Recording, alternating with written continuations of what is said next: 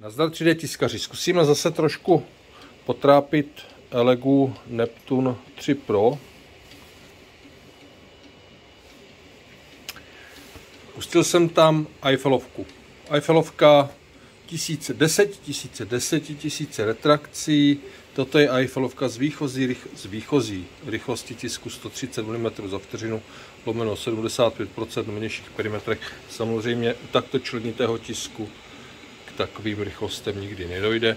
Každopádně Eiffelovka i v dnešní době může být problematickým tiskem, pokud, hlavně pokud začne zlobit extruder, nějaké přicpávání. Co se týče Hodendu, to jsem v minulém videu neřekl, Hodend není celokov, jo? je to s teflonovou trubičkou. A teflonové trubičky do, do Hodendu náhradní jsou i součástí no, vlastně dodávky tiskárny. Jo? Jako náhradní díly, nebo jak to říct. Takže Eiffelovka jede už 3 hodiny. Je to poměrně rychlá Eiffelovka, jo. Jak jsem říkal, 130 mm za vteřinu výchozí rychlost. A vrstva je tam 0,16. Takže uvidíme za nějakých 8-10 hodin, jestli se vyjede nebo se nevyjede. 13 hodinová Eiffelovka Svítíme se do ní. Je vytištěná. Bez připomínek. Co zkusíme teď? Teď zkusíme nějaké PTG. Něco najdu, co bych třeba potřeboval vytisknout. Nějaké díly na lineáry nebo něco. Mimochodem ta mince. Uh. Hele. Nic jsem s tím nedělal, žádný plnič, jo. Jenom jsem tam dal asi dvě vrstvy, ne asi, dvě vrstvy tady toho prostě spreje. Akryl jakože chrom, efektový sprej. Přiblížím ještě.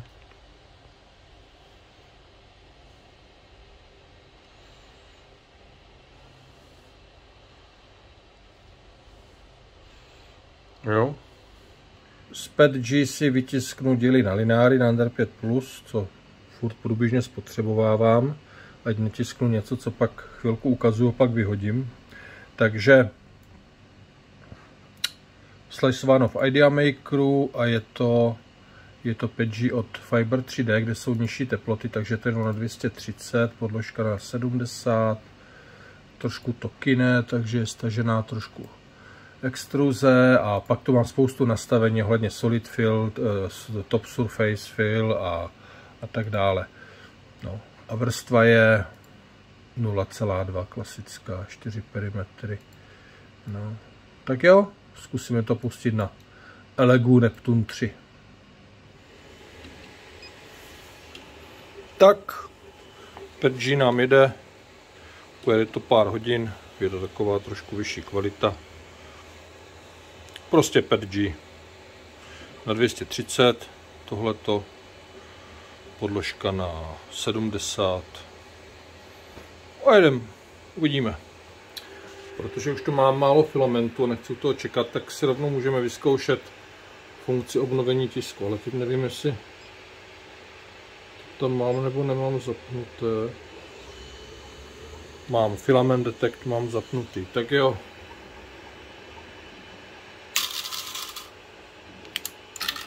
Tak, co budeš dělat? Filament is run out, please replace.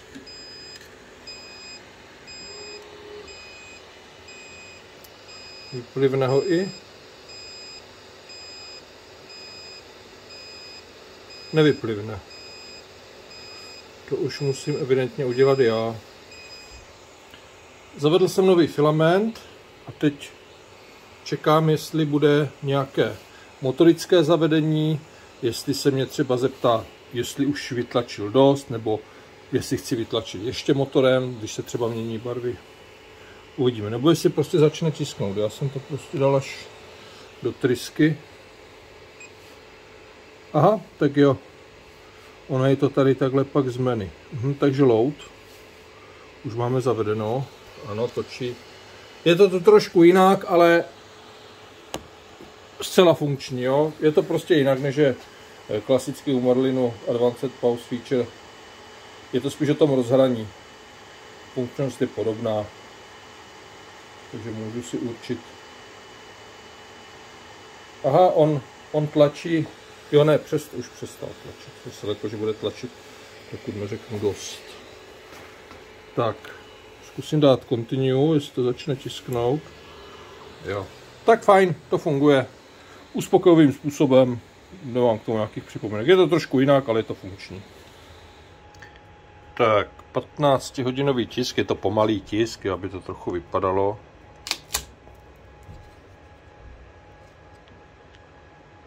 Hm, tisk jak víno.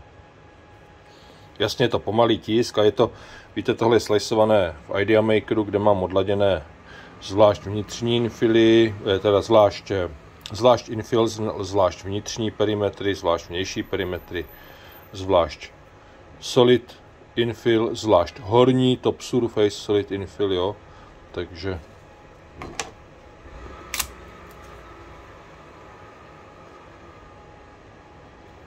já myslím, že dobrý.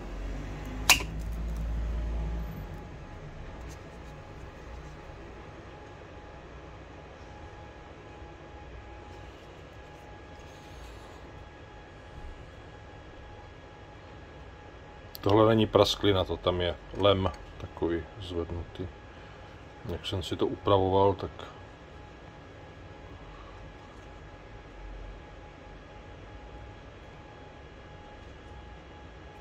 No, čili PTG, standardní PTG, jo, takové to méně teplně odolné, ale Řekl bych standardní PTG.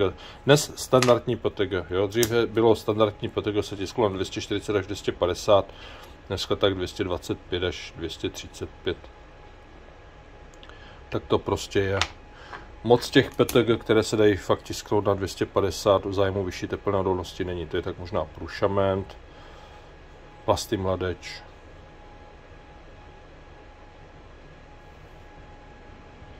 No, já myslím, že PTG nemá problema.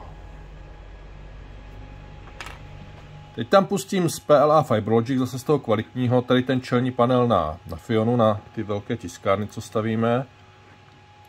A je to takový, bude to rychlejší tisk. Tady mám upozornění, že kde mě Idea Maker Slicer, Slicer upozorňuje, že tam uh, průtok větší než 10 mm kubických za vteřinu v některých částech, ale chci to prostě vyzkoušet.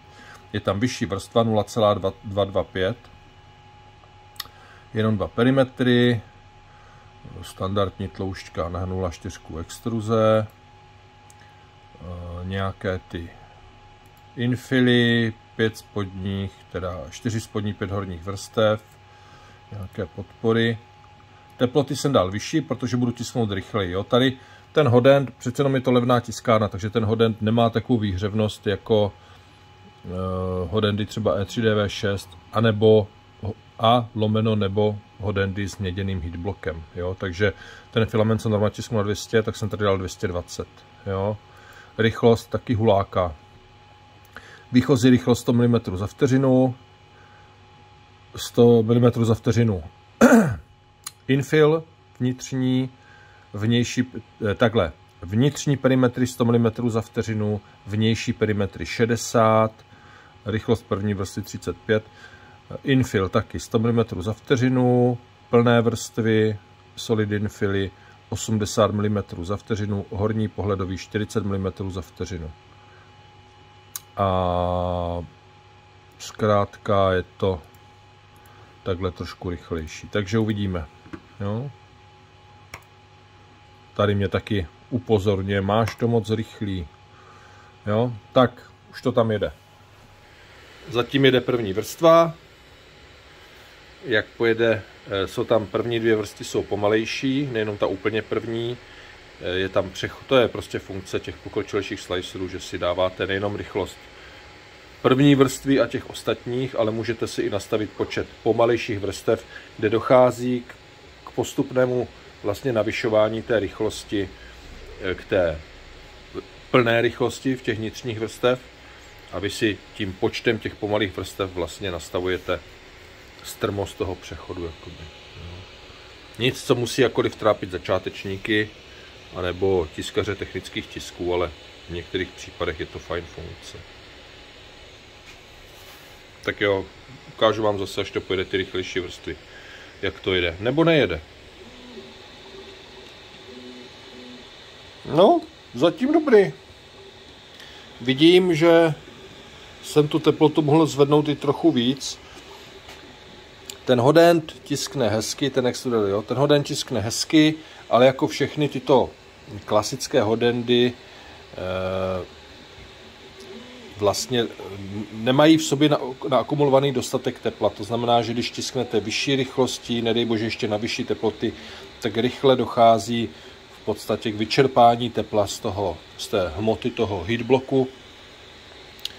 Taky ta tepelná vodivost toho duralu není taková jako třeba u té mědi, takže zkrátka z vyšší rychlostí tisku, z větši, jde o průtoky, s větším průtokem materiálu dochází ke snížení teploty toho vytekajícího filamentu. Což prostě řeší, eh, jak jsem říkal, robustnější hodendy, třeba jako je E3DV6, nebo i podstatně dražší, nevím, Moskita a tak dále, Faetusy a tak dále, tak Faeto. A, a lomeno nebo měděné heatbloky. Ale zase, jak už jsem říkal, v podstatě všechny ty lepší hodendy se právě vyznačují měděnými heatbloky právě z důvodu větší tepelné kapacity. A samozřejmě mnohem lepší tepelné vodivosti. Jo? Říkám to už asi po 50. To, co vidíte za teplotu, není teplota filamentu. To je teplota, co měří termistor. Rozdíl může být překvapivý.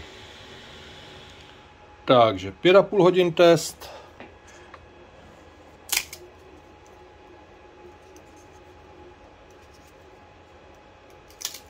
Myslím si, že na tu rychlost super.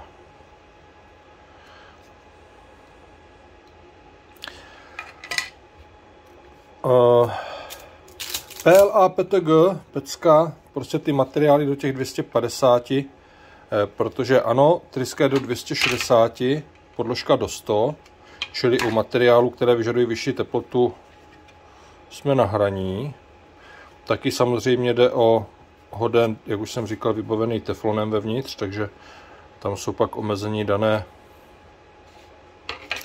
dané tím teflonem v heatbreaku, že jo. Když se nám ten heatbreak zahřeje na těch 270 třeba, tak ten teflon dlouho nevydrží Capricorn, Capricorn. Takže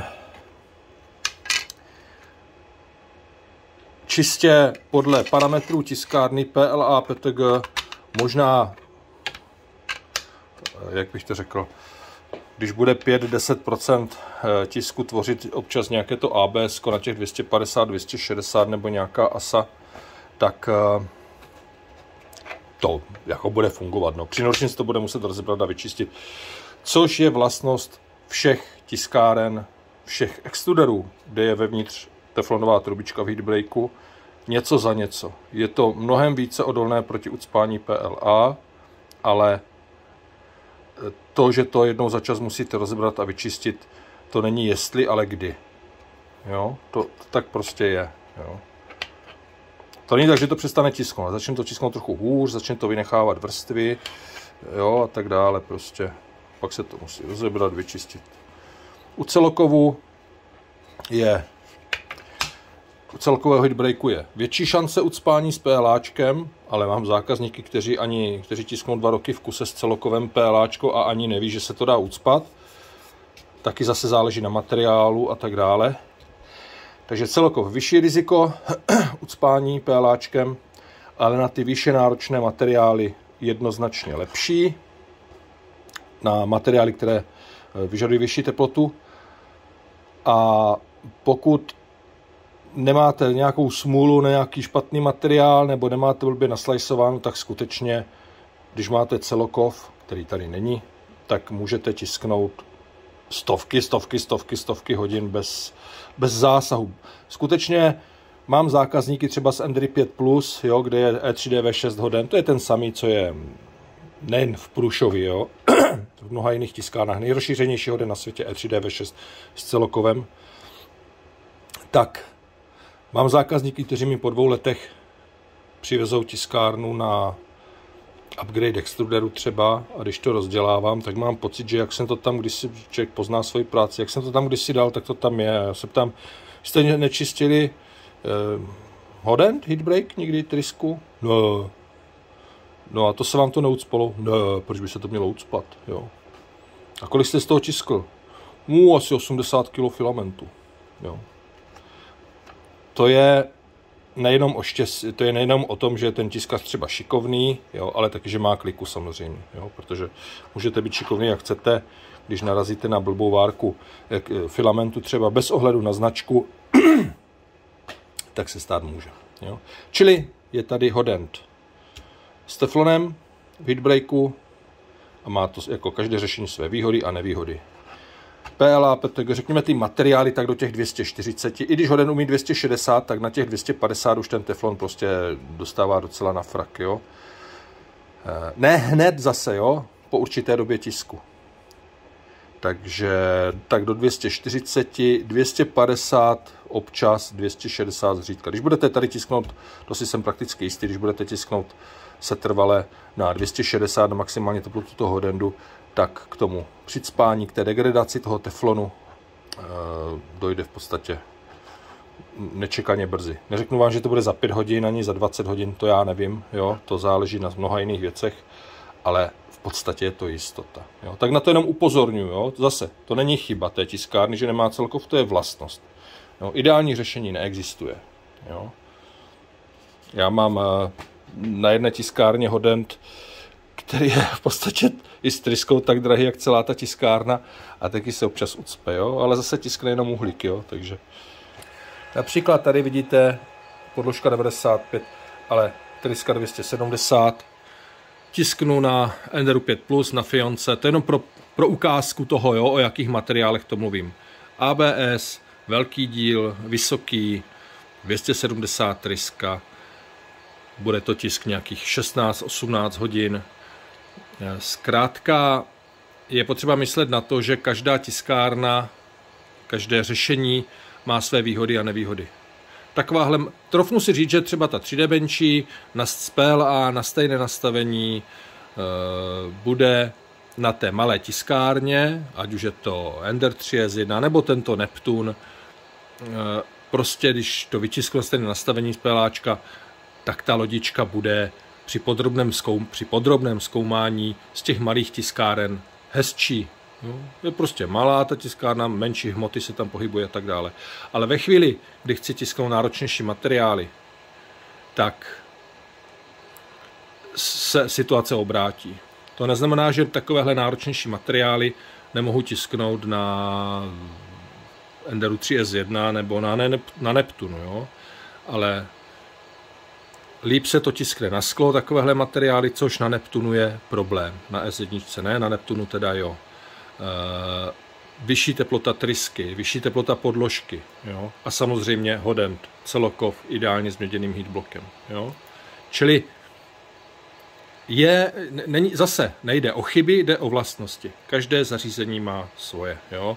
Občas někdo má pocit, že si koupí tiskárnu za 6 tisíc a může na ní valit ABS, ASU, polikarbonát a já nevím co, protože to v tom e-shopu u toho psali a hrozně se pak vsteká a chce po mně, abych mu to rozchodil, že si koupí tiskárnu někde v Alze a za 7 tisíc a chce na ní jet 24-7 díly z polikarbonátu. Jo? A já mu vysvětlím, že to prostě nejde. A on říká, no ani to tam psali, jo. No tak psali, no. Tak jenom taková poznámka mimo recenzi tiskárny Neptune 3 Pro. Všechno má své. Tak co tam pustíme teď? Co tam pustíme teď?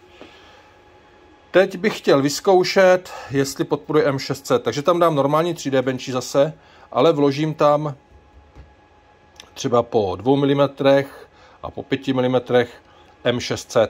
Eh, udělám to v Idea Makeru, jinak se to tam dá dopsat i ručně, nebo Prusa Slicer to podporuje, Simplify 3D ne. Jo? Takže dám tam třeba po 2 mm a po 5 mm příkaz k pauze a k výměně filamentu. V podstatě k pauze. Jo? Eh, některé tiska, to záleží na, zase na Finberu. Jo? Pro některou tiskárnu M6 v podstatě příkaz k pauze a k výměně filamentu, čili vyjdete třeba k S1 s naším Finberem Když je tam M600, tiskárna zapauzuje, odjede bokem, vyplivne starý filament a začne ječet, že máte vložit nový. Jo? Jiné finvery udělají to, že to jenom zapauzují, odjedou bokem a teď co? A vy tu výměnu toho filamentu musíte provést ručně, buď přes menu, anebo vyloženě ručně. Jo? Obojí je funkční, jo, to už. Důležité je, aby to vůbec to, ten příkaz M600 ten firmware znal a zareagoval na něho. A to si teď vyzkoušíme. Takže to máme, je to stejné nastavení, jako jsem teď tiskl ten čelní panel, takže mám tady ty vykřičníky, že to je moc rychlý, ohledně průtoku a tak dále.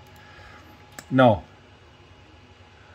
ale kde to máme? Tady adre a tady mám přidaných ve dvou a v 6 mm pauzu. Takže to ano, vím to, takže to neslajsuju, ano, vím to, že to je rychlý.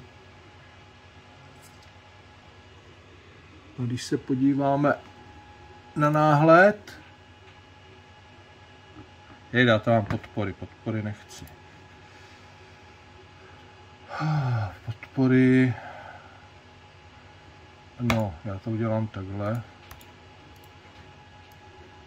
Podporu tam dám ručně žádnou. A kde to máme? Podpory.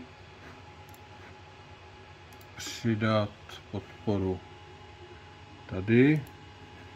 Je ten jako Simplify 3D. Tím mám podpory pokryté. Kuš.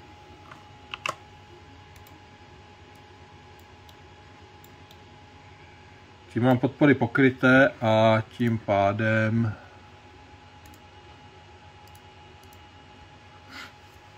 jsem se jich zbavil. No.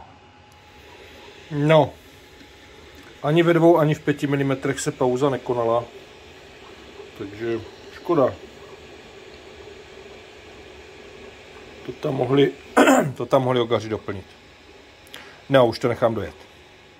Hodina, 6 minut. Hezký. Ale zase, prosím vás, může za to i filament, jo?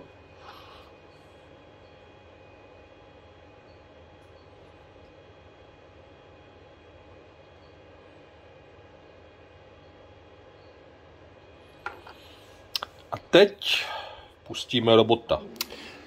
Toho robota chci totiž vytisknout z TPEčka. Mám tady na testy fajnové TP88 od plastu Mladeč. Takže Rubberjet TP88. Takže teplotu dáme 220, je to 210 až 230, tak dáme teplotu 220. A nebudu to nějak extra upravovat to naslajsování kvůli tomu, že to je guma. Jo, nechám tam retrakce, uvidíme. Jo. Podložku jsem upravil Magigu Flex. Drahé, ne moc funkční, ale s, s TPčkem s TPčkem to tak zkrátka je, proto používám radši TPU. Ale zase TPE má výhodu takového jako matného vzhledu, víc gumového. Tahle barva je taková opalizující, parádní. Jsem na to zvědavý. Tak to pustit. Zakládání filamentu je stejně snadné jako na všech BMG dual drivech. Dojedu si ke kolečkům a teď samozřejmě musím mít odemčený motor, jo? uvolněné motory. A už mi to dole leze. Musím točit pomalinku, jde o gumu. Ale už mi to leze. Tohle už by měla být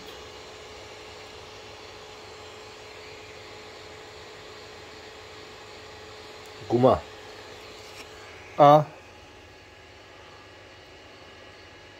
skutečně. Takže tady máme robota Maker Faire na 100, toho, tu 65% verzi s většinou na 150%. A jak to máme nastavené v Simplify 3D? Extruze 1,1, gumu prostě většinou přidávám, štířka extruze 0,48, mám tam normálně retrakce 1,4 mm, uvidíme. Pokud se to ucpe, má, guma prostě má právo se ucpat, jo? Prostě to chci vyzkoušet, jo? Některé gumy se musí tisnout bez retrakcí a konstantní rychlosti, já nevím. Hmm, prostě to zkusím, jo? Takže 1,4 mm retrakce, vrstva 0,16, protože jsou tam převisy, takže menší výška vrstvy, 7 spodních, 8 horních vrstev, 3 perimetry, šéf vůči 220-220 souřadnicím na rohu, hmm, dále co, tady nic, výplň 20% standardní, podpory žádné, teploty 55, 220, chlazení jo, naplno od třetí vrstvy, tady nic, tady nic, že tam bude meshbed leveling, rychlosti 50 výchozí, se zpomalením na vnějších perimetrech na 75%, se zpomalením na solid infilu na 50%. A jinak tam nic zajímavého není. Dáme to naslajsovat a pokud to projede, tak se to bude tisknout nějakých 10 až 11 hodin a sežere to nějakých 120 gramů materiálu. Jo, uvidíme. Uvidíme. Není to jednoduchý tisk. Jo? Velkou možnou příčinou selhání při tisku gumou jsou retrakce. Eh, většina gum, hlavně těch starších, má přímo v návodu napsáno, že retrakce musí být vypnuté nebo minimální. Já ji tady mám normálně naplno, jak jste viděli. Retrakce 40 mm za vteřinu, rychlost retrakci, retrakci myslím. No a uvidíme.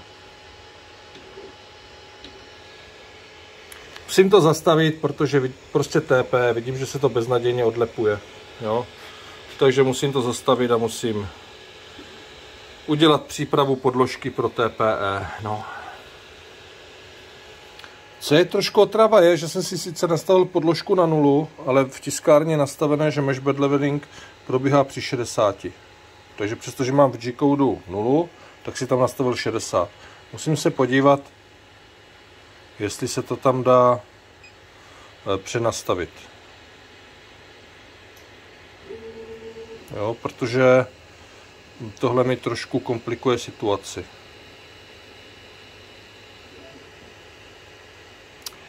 No a ještě nepříjemnější je, že po té, co si zvedl teplotu podložky na 60, aby mohl provést bedmesh leveling, tak tam nevrátil tu hodnotu, co, jsem, co mám v G-code 0, ale nechal tam už těch 60 i protisk. Jo. Což je, jo, není to to nevypadá, že zase, že říkám, že to je něco tragického. Ne, není, ale je to nemilé, Emile, jo. Není to nic fatálního, ale víte, jak to říkám. Hlásit se to musí. Odbet. A nemůžu dát ani pod 30. Nebo ho můžu vypnout, jo, já ho můžu takhle vypnout. Hm?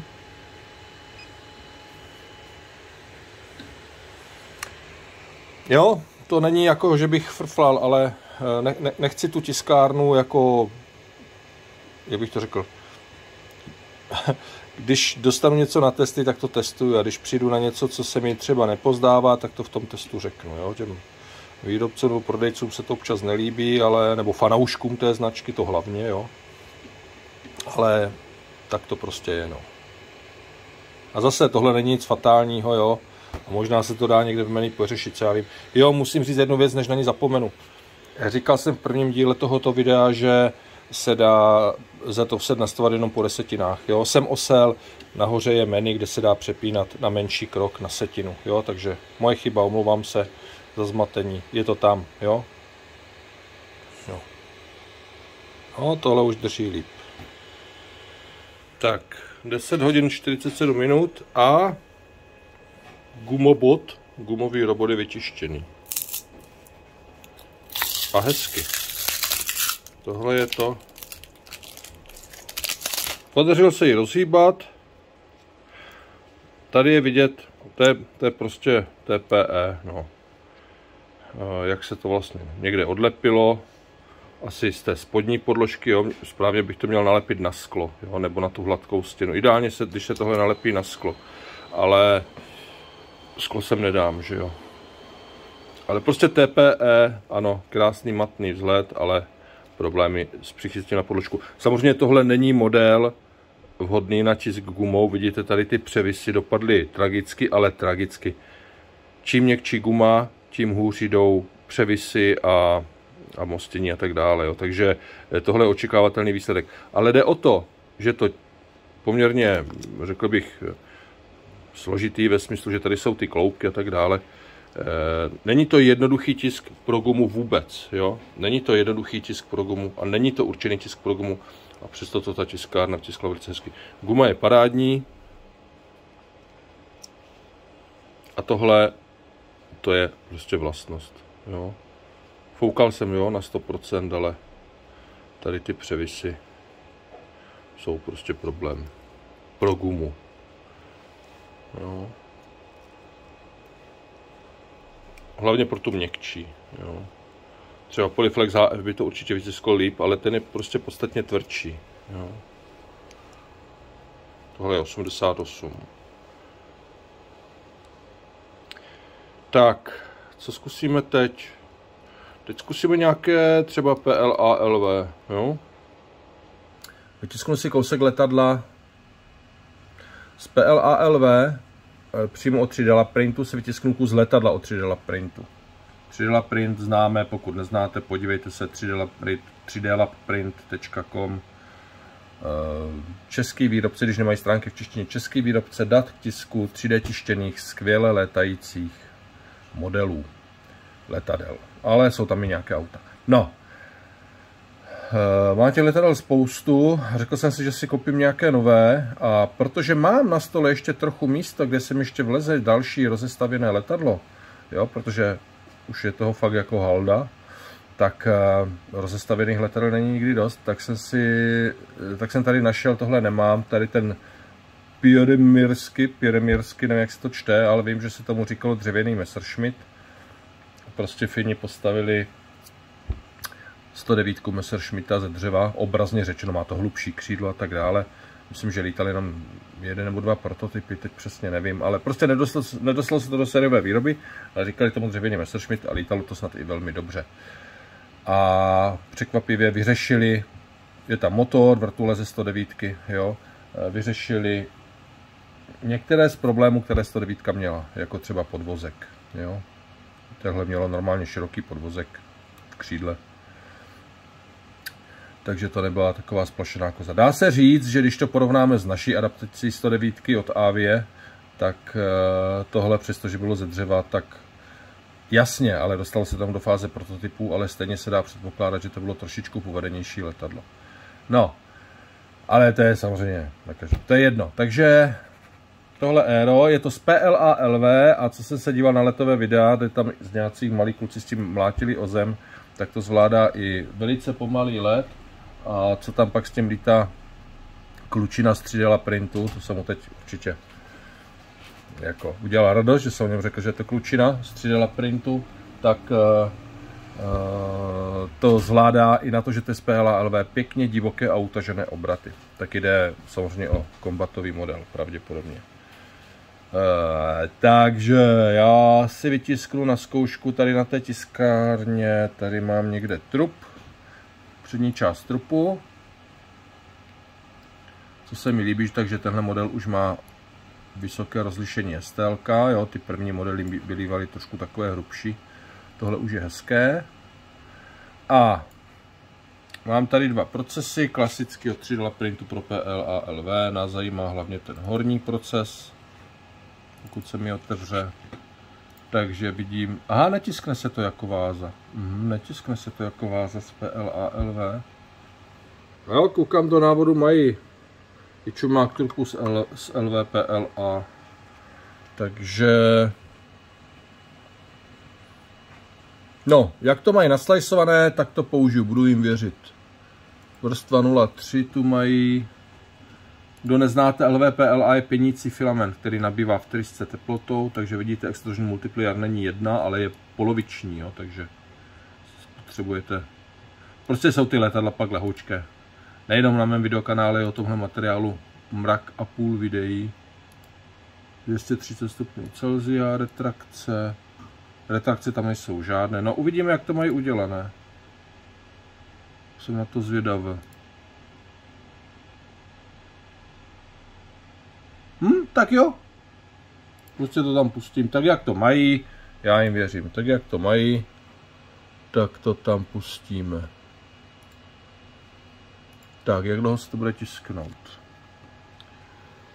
Nějaké 4 hoďky počítám, 25 gramů.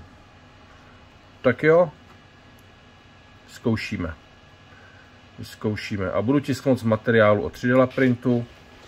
To jsou ti samí, co dělají ty letadla, jo? 3D print, tak se dělají i tenhle materiál. Polylight LVPLA. Takovýhle šedivý. Je tam toho málo, ale na ten čumák by to mělo vystačit. Akorát, protože LVPLA nebo PLA-LV bývá docela kumšt sundat z podložek, jo? A u těchto hm, podložek s tou hrubou texturou se může stát, že vám to LVPLA jakoby zůstane v těch, těch prohlubních je docela tam dostat.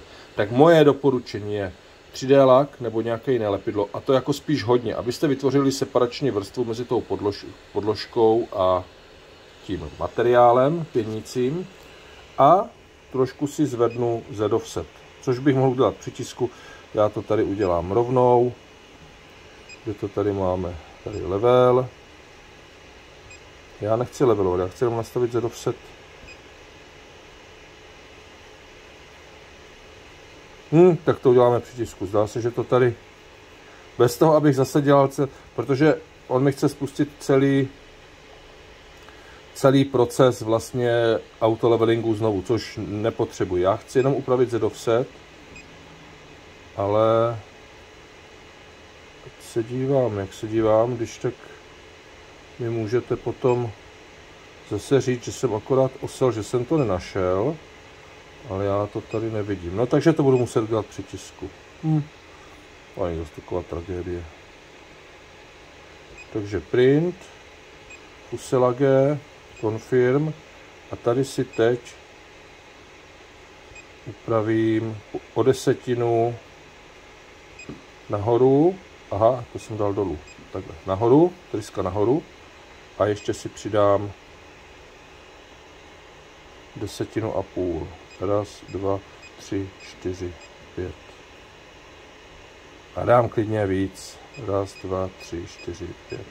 Nechci, ty podlo nechci tu podložku prostě tím zaprasit. Rozum, rozumět těma.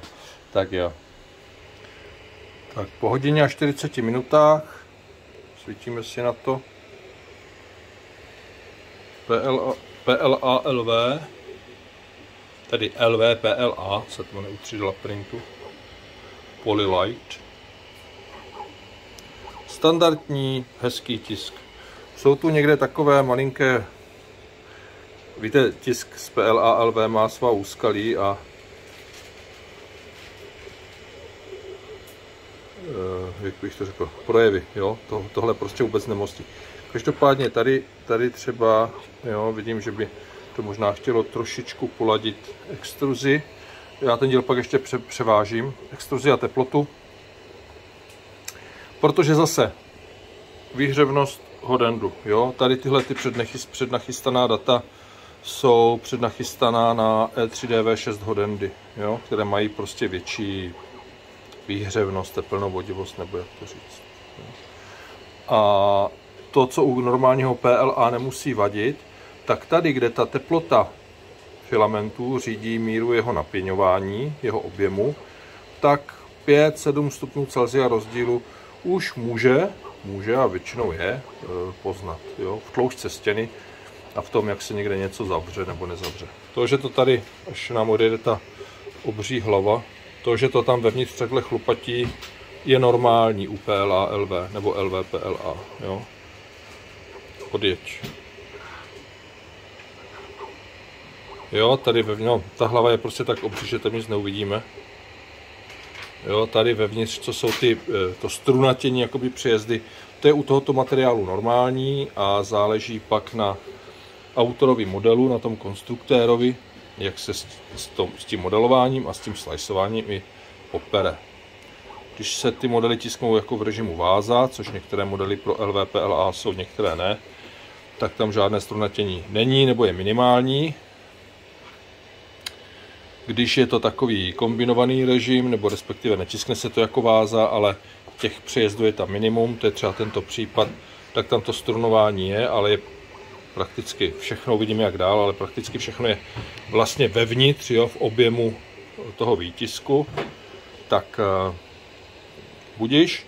No a když vezmete nějaké letadlo, které pro toto vůbec není určené, jo, třeba já jsem tiskl tady toho Focke-Wulfa z tohoto materiálu, tak to křídlo je vevnitř zastrunatěné prostě hrozně, protože jak při tom návrhu, tak při tom sliceování, hlavně při tom návrhu se s LVPLA nepočítalo, takže je kumšť to vytisknout tak, aby tam to strunatění nebylo. Ale pokud je vevnitř, tak zase jedná se o vlastnost. Jo? Jsou to modely na lítání. Takže zatím dobrý. Pak ten díl převážím. Tak, 3 hodiny 52 minut. Výtisk zcela standardní. Jo? Viděl jsem horší, viděl jsem i trošku lepší. Standardní výtisk z PLA LV. Nechám vychladnout a sloupnu a převážím. Možná to půjde už teď. Jo, jo, jo, vidíte, nenechal jsem to vychladnout, trošku se mi to tam chytlo. No, ale to je proto, že natáčím to video, za to můžete vy. Tak.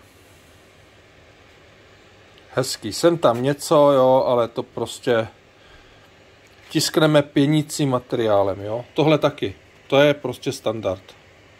Foukám, jo, nebo jestli tam teda mají nastavený ofuk, teď nevím, ale i kdyby byl, tenhle materiál se prostě prověšuje. Více či méně, někomu víc, někomu méně, záleží třeba i na orientaci modelu. Tohle bylo naslajsováno standardně od nich. Hmotnost tohoto dílu má být 24 gramů a je 23, takže 23, 24, takže to sedí, jo, nějaké desetinky neřeším. Takže dobrý. A teď bych mohl třeba trošičku přidat teplotu jo, a tím zlepšit spojování vrstev, ale tím i trošku rozšířit e, ty perimetry. Tady budu mít vytištěný další díl trupu. Tady je vevnitř hezky vidět to strunování, hezky. No, je hezky vidět to strunování, ale tohle k PLA a LV prosím vás patří. Pokud jsou tam přejezdy, tak eh, můžete s retrakcemi kouzlit jak chcete více či méně to tam bude vždy. Jo, to je vlastnost. E, teď jsem si uvědomil jednu věc, jak, jsem, jak si chci nachystat další tisk. Říkám si, že bych si tam nechal přes noc jako dva díly. E, díly z PLALV nemůžete tisknout více dílů jako vedle sebe. To prostě nejde. Jo? Když, tak sekvenčně. Jeden díl a druhý díl. Nesmí být přejezdy mezi díly. Kdybych tiskl dva díly současně, tak to, co je vevnitř, by bylo mezi těmi díly, což bychom úplně asi nechtěli. Takže když tak sekvenčně, ukazoval jsem to několikrát na velkém Enderu 5+, kde celé křídlo dokážu, celý trubna Albatrosa třeba, jo, 5-6 tisků dokážu sekvenčně vyskládat na tu velkou plochu 350-350. Tady to až na nějaké opravdu štíhlé věci nepůjde, jednak protože je menší podložka 22, ale taky, protože ten extruder je na tu hloubku prostě obří, jo. E, takže by bylo dost složité to tam vyskládat díly trupu tak, aby ten extruder určitě nenarazil do toho už vytištěného dílu. U menších štíhlejších dílů by to šlo, ale u objemných dílů trupu e, by to nešlo. Možná by to šlo jedno křídlo, druhé křídlo, jo? aby tam bylo prostě dost místa před tím extruderem k tomu dalšímu dílu. Tak to je zase jenom takový poznatek z praxe. Jo? Já vám tady nebudu říkat takové nějaké jako věci, že tiskárna eh, taková nebo maková ve smyslu, řekl bych, nějakého marketingu, ale eh, spíš věci z tiskařské praxe. No. A to už ať si každý přebere jak chce. To potřebné místo před eh, extruderem, ta mezera mezi těmi díly je cca 63-65 mm. To je vždycky lepší mít tam nějakou rezervu. Jo? Třeba u mého extruderu verze 6 je to 45 mm. U extruderu verze 4 kolem 40 mm. Jo. Nechávám tam vždycky 41, 42. Jo. Čili 2, 2,5 cm navíc. Jo. Zase nic tragického, jen se to musí hlásit pro případné úvahy o sekvenčním tisku. Třeba tyto dva díly se mi tam vlezou, jo, protože prostě ten jeden ten ocas je štíhlý, takže mám mezi, je, mám mezi nimi asi 75 mm, to znamená, že vím, že když bude ta hlava tady v nejzaším pohybu, tak nenarazí do tohoto už vytištěného dílu. E, dále je potřeba tisknout od X, jo, prostě odpředu. Vy jste si to vlastně vytiskli první díl, podložka vyjede dopředu a vzadu jako vytisknete druhý díl. Když si vytisknete ten první díl a pak vlastně ta hlava s celou tou hrazdou u takovéhoto typu tiskáren a nejenom tohoto sjede dolů, tak se vám může stát, že si to lehne na ten už vytištěný díl a dějou se věci. Jo? Tím, že tento díl je, já tam mám teda už z těch předchozích, eh, z toho předchozího tisku mám tam trochu přidanou teplotu o nějakých 7 stupňů a navíc jsem si upravil své volně eh, profil tady na tento díl, kde mám jednak ubraného trochu materiálu, jo, na ocase co uberete, jak když najdete, ono to bude dost pevné i tak. Dále je tam 5%, eh, jo, jako nic. Dále je tam menší vrstva, normálně 0,3, tak tady mám 0,2, protože ty převisy tomu LVPLA jdou opravdu špatně, tak nižší vrstvou mu trošku pomůžu a mám tam zpomaleno. Čímž částečně tím, že filament se víc prohřeje v trysce, tím částečně v podstatě kompenzuju těch 5 ubraných procent materiálu. Jo. A když se to naslajsuje,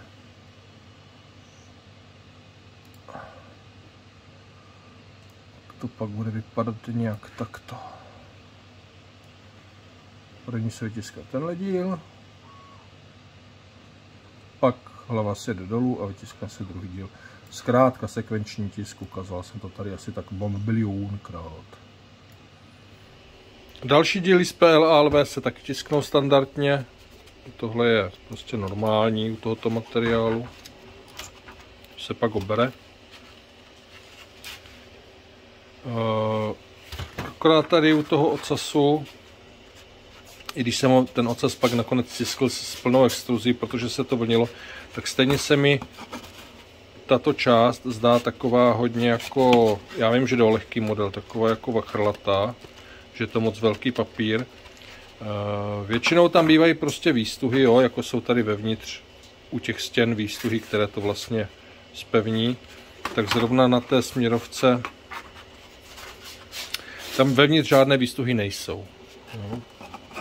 Podstatě v celé té placce. Tady trošku nahoře, tady trošku dole.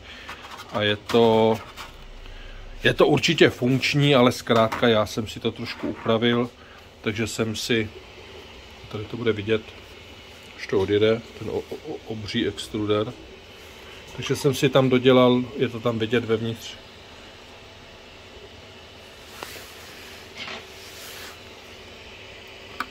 tady a tady, jo, jsem si dodělal výstuhy.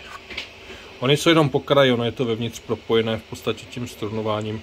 Přírůstek hmotnosti 0,8 gramů. Jo, takže zanedbatelné.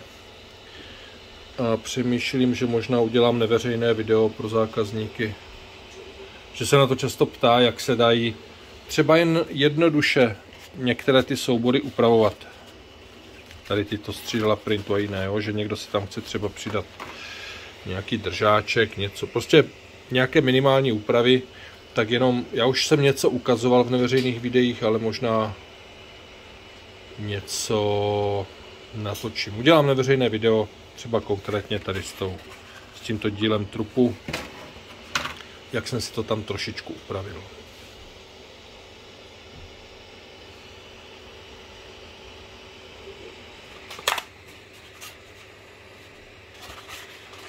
Jo, jo, to je lepší. S těmhle výstuhama.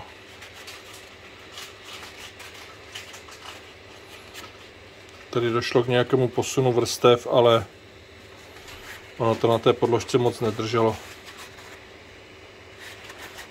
Nechám tak, je to PLLV. Bude to vozenbouch. No, a co teď třeba zkusit ASU? ASA 275. ASA 275 zkušební, ne, zkušební tisk, to není zkušební tisk, to je tisk, to je na Extruder verze 6, redukce na, nebo redukce, konzolka na připojení cable chainu. Jo. No, takže ASA 275 je na ASU jednoduše tisknutelný materiál. Takže samozřejmě, i když tam není celokov, tak když tu ASU nebo ABS si na tom občas vyprdnete, tak ono se taky nic hrozného nestane. Jo? Ale samozřejmě pokud byste chtěli tisknout ASU, ABS, eh, řekněme, jako většina tisku, že to bude, tak určitě by byl dobrý upgrade s nějakým celokovovým hitbreakem a ve chvíli, kdy začnete uvažovat o nějakém polikarbonátu, PCTG, brzo budu ukazovat PCTG, tak uh, tam samozřejmě limity toho extruderu jsou maximální teplota 260, jo, to je na polikarbonát málo, i na PCTG je to málo. Na ty, já třeba mám od Fiberlogy PCTG, jo, tam číslo nějakých 270 nebo kolik, takže tam, i když máte Capricorn vevnitř, tak degraduje na ty vyšší teploty. I kdybyste si třeba upravili firmware, jo, tak na ty vyšší teploty degraduje samozřejmě rychleji. Takhle to pak vypadá. Jo, k tomu pak bude připojený cable chain. Stejný materiál ASA 275. Kompletní extruder. Díly na extruder V6 K1. Jo.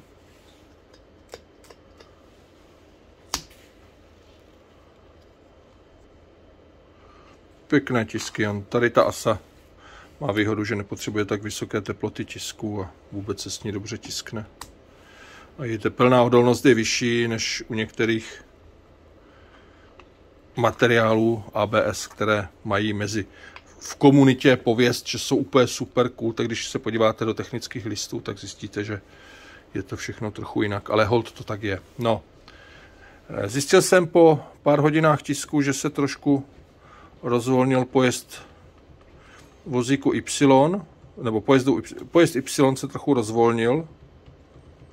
Jo, tady po těch tiscích, co jsem dělal, což není problém, to snadno přitáhnu, od toho tam ty excentry jsou, ale zase hlásit se to musí, takže dá se předpokládat, že bude vyžadovat trošku, trošku servisní, servisní, udržovací zásahy. Jo. Ale je tam na to přístup, jsou tam na to nástroje, není to nic složitého, jen je potřeba to vědět. Jo. Trošku, to tam, trošku se tam jedna z těch vaček rozvolnila, z těch excentrů. Pak musím hlásit tady toto, to sundávání toho displeje. Možná je to problém jenom mého kusu, já nevím, jo, ale hlásím to. Hotovo. Jakmile se s tím displejem hne, jakmile se s tím zatřepe, tak se restartuje, někdy se ani nerestartuje, někdy nenaběhne, jo. Mně to nějak nevadí, no tak prostě ten displej nebudu sundávat, jo. Já nevím, jestli je problém v tomto konektoru, nebo v tomto, nebo v něčem jiném, nebo něco vevnitř. Každopádně ten displej je háklivý na nějaké štrachání, jo. Což mě nevadí, protože já nepotřebuju chodit na šňůře s displejem kolem tiskárny. Jo, jen to hlásím. No. Takže to je k téhle tiskárně pro tentokrát asi všechno. Ehm, Zvažuji i to, že ji budu prodávat, uvidí se, hmm, jestli to prostě, víte co, u těch levných tiskáren pro prodejce to není úplně jednoduché eh, držet na to záruku rok až dva roky, jo, tam to musí být nějak promítnuté do ceny té tiskárny a to samozřejmě už zase tu tiskárnu ze super levné tiskárny udělá tiskárnu třeba ze střední cenou. To už se musí, to, já si, to si musím já rozmyslet a, a, a rozhodnout se. Budu brzy dělat video s tou větší tiskárnou, v té, jo, v té větší, s tou větší tiskovou plochou. Tam hned předpokládám, že by byly nějaké, nějaké záhady, že by tam byly nějaké velké rozdíly. Co ještě vlastně dál bude v blízké budoucnosti tady na tom mém YouTube kanále. Bude tam zase i tahle tiskárna a sice až na ní natisknu další desítky, spíš možná stovky hodin, já nevím, 200-300 hodin, jo, nevím, tak nějak, prostě 10 dnů tisku, dejme tomu nonstop, tak uh, si uděláme video, kde rozebereme ten extruder a podíváme se na stopy několika set hodin tisku, jak se podepsali na tom extruderu, na té teflonové trubice vevnitř a jak to tam prostě vypadá po nějakých stovkách hodin tisku, protože víte, když je ta tiskárna nová, tak tiskne skoro každá. Jo?